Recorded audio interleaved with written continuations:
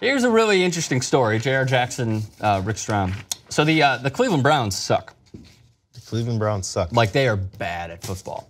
Uh, the records will also show how bad they are. In the uh, AFC North with the Pittsburgh Steelers leading with a 9 and 2 record, no surprise, the Browns sit at the bottom with zero wins. So here's the uh, interesting part about this, Jay, is that Sam Darnold, quarterback for USC, potential number one pick mm-hmm. as well. Here's what Albert Breer wrote. This was back on November 7th, 2017. Quote, scouts who have been through there have told me that Darnold is a smart, conscientious kid with good family around him and will take everything. Oh, what a hard player, including his play, his situation at USC, and yes, here's the big one potential NFL landing spots into account in the decision. That said, as I've heard it from those close to him, Darnold has shut down any talk about the draft for now. Again, November 7, 2017. So then some reporters asked him about it. And Darnold, on that report about being the number one pick, quote, I'm not sure where that came from, so I'm going to leave it alone. Smart answer. And then via ESPN this morning, I didn't say anything about the Browns. I've never said anything bad about an NFL team. They know I would never say anything.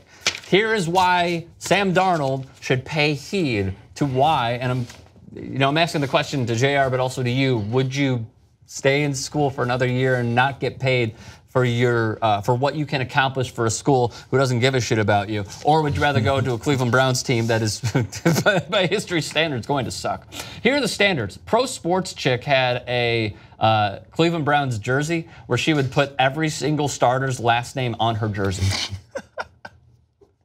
Come on, Edwin, take a look. The list is bad. It's like really, really, really, really, really bad. Looks bad. and the funny thing bad. is, it like that's not even updated. Here's the updated list via Will Brinson at CBS. 28 different starting quarterbacks, all of them including Tim Couch, Ty Detmer, Doug Pederson, head coach of the Philadelphia Eagles, Mm. Spurgeon Wynn, Kelly Holcomb, Jeff Garcia, Luke McCown, Trent Dilfer, Charlie Frye, Derek Anderson, great backup. Brady Quinn, also with CBS. Ken Dorsey, Bruce Gradkowski, Colt McCoy, Jake Delhomme, Seneca Wallace, Brandon Weeden, Thad Lewis, Jason Campbell, Brian Hoyer, Johnny Manziel, Connor Shaw, Josh McCown, Austin Davis. RG3, Cody Kessler, DeShone Kizer, Kevin Hogan. That is the updated list of 28 different starting quarterbacks. And that is uh, since I believe, oh, we have it right here 1999. Here's how bad they have been, Sam Darnold, in case you want to go to this team. Since 1999, they have two winning seasons. Since 1999, that came in 2002 and 2007. This team is god awful. Would you want to go to this team? And then there's also a fan who put up this video on YouTube on why he continues to go to Cleveland Browns games, which is just preposterous to any right thinking human being. Take a look. We built you. Do you understand that it is actually statistically harder for a team to be this consistently bad than it is for them to occasionally accidentally be good? The probability is staggering. We don't even expect you to be good. We just want you to be watchable. Do you have any idea how low our expectations are? And listen, I know that there are way more important things in life than football, but you are supposed to be our pleasant distraction from those things. But all we do is pay you money to put us in a bad mood every week. You are a factory of sadness! I'll see you Sunday. you a factory of all right. sadness. I had to throw like all it. that in there. But with that being said, Jayar Jackson. By the way, you, uh, in this example, all right, you're not a USC alum, okay? Take your bias aside, which is impossible for you. I'm you pretty good do. at that. With, I'm actually pretty good at that. With USC? Yeah. You're good yeah, with yeah, it? Yeah, yeah. Absolutely. Okay.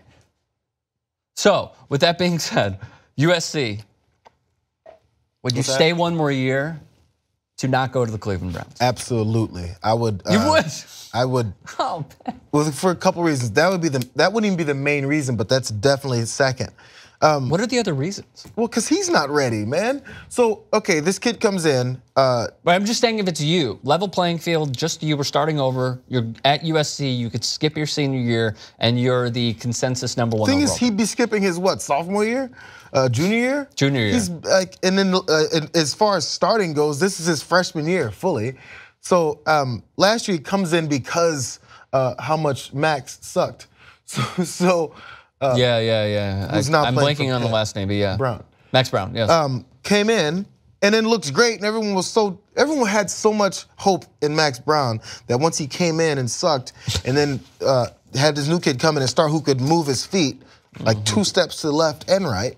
Everybody's like, oh my God, he can move. He doesn't stand there like a statue and get his head taken off. Right. So everyone like, had all this excitement for him, and this is the hard part. Is with Leinart, Carson Palmer, Mark Sanchez, everybody that's John recently- David Booty. Booty, who, who's played recently for USC, is especially with the expectations before the two pro teams came back, is they're the professional team in LA. And LA is a huge city, obviously. People pay attention to football as much as people like to say, oh, nobody goes to football games or they leave early because there's so many things to do in LA. Bullshit. People go to football games and people stay at football games.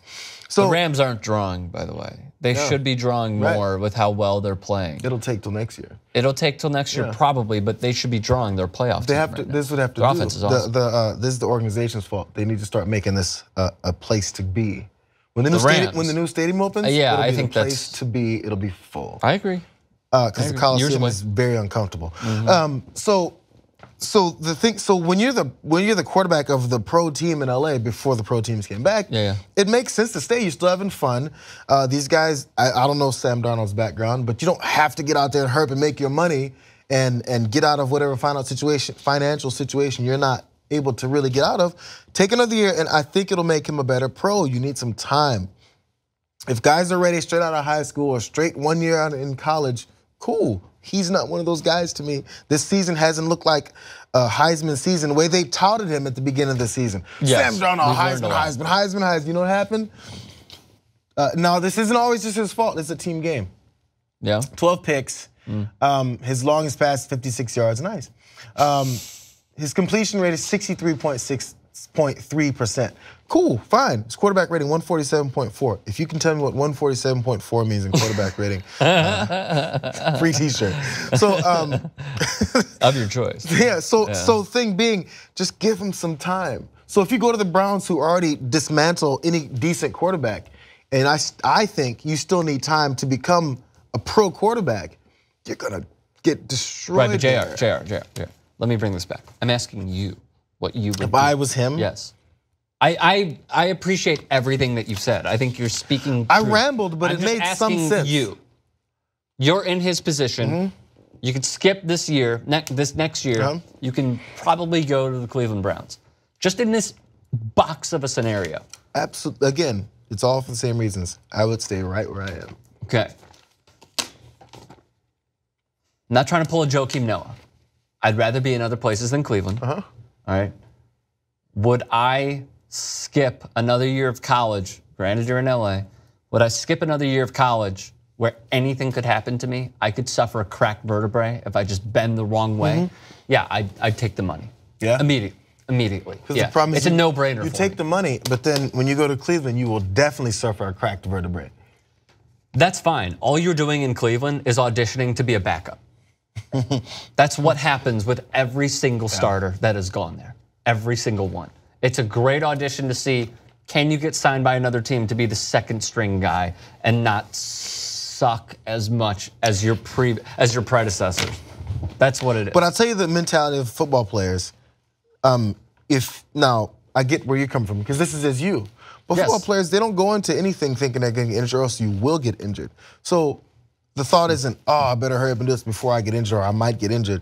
Because if you think that way, you will get injured. No, it's not. It's not a matter of thinking you'll get injured. It's just a matter of do I get the easy payday right now on a rookie deal? Granted, you can max out because of the Sam Bradford rule, where like uh, they can negotiate any ridiculous contract where starting quarterbacks who have been better than that rookie are getting paid less because the money has been so different as time has evolved. Obviously, as time has gone on. Uh, so the the question is, would I take the money? instead of playing another year, potentially hurting my stock as well. Yeah, I'd take the money, I'd go to Cleveland, I'd last three years, and then I'd be He out. looked also great last year because he had veteran wide receivers, one of which is in a couple of which are in the Juju. NFL now. Um, so that helped him. He's got young receivers. Like all that will come together. I think he'll have a much better season next. You could have Josh Gordon, by the way. He could be coming back as well. Everything will help him, man. Just a thought. Just a thought. Uh, Cleveland Browns, yes or no? By the By way, the way- the New York Giants could be drafting him as well if the Browns pass on him. Right, which is right. pretty cushy. Right. And Yeah. the thing is, the, the Browns. I don't know if they've changed their direction on this, but they'll take a they'll take the young, hot quarterback that's popular because they've done it. We saw that lady's jersey. They weren't all young. She retired the jersey, by the way. I should note that. I think she retired after 2015. It started.